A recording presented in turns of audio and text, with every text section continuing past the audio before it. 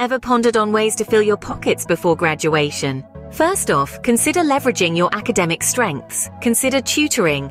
Tutoring earns you money and it your own knowledge. Next, think about starting a small business. Consider turning a hobby into an enterprise. Remember, the key to success is providing a product people want. Another great way to earn money as a teenager is by doing odd jobs in your neighborhood. Tasks like mowing lawns or washing cars can be in demand. Plus, it's a great way to get some exercise and fresh air.